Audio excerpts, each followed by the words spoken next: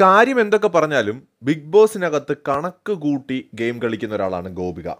ഗോപികയുടെ sweet റിവഞ്ചുകൾ അത് ചർച്ച ചെയ്യപ്പെടേണ്ടത് തന്നെയാണ്.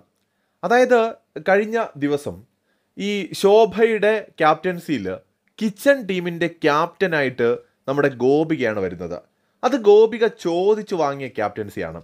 കിച്ചൺ ടീമിലേക്ക് ആര് എന്ന ചോദ്യത്തിന് എല്ലായിടത്തും മൗനമായിരുന്നപ്പോൾ രണ്ടാമതൊന്നും ആലോചിക്കാതെ ഞാൻ എന്ന് പറഞ്ഞ് ചാടി എണീറ്റത് ഗോപികയാണ്. എണീക്കുക മാത്രമല്ല ഗോപികയാണ് ടീമിനെ സെറ്റ് ചെയ്യുന്നതും കിച്ചൺ ടീമിനെ ഇനി അങ്ങോട്ട് ഈ ഒരാഴ്ച നയിക്കാൻ പോകുന്നതും. ഇപ്പം നിങ്ങളിൽ ചിലരെങ്കിലും ചിന്തിക്കുന്നുണ്ടാവും ഇതിലെന്താണ് ഇത്ര റിവഞ്ച് മൈൻഡ് എന്ന്. രണ്ടാഴ്ച പിന്നോട്ട് പോവുക.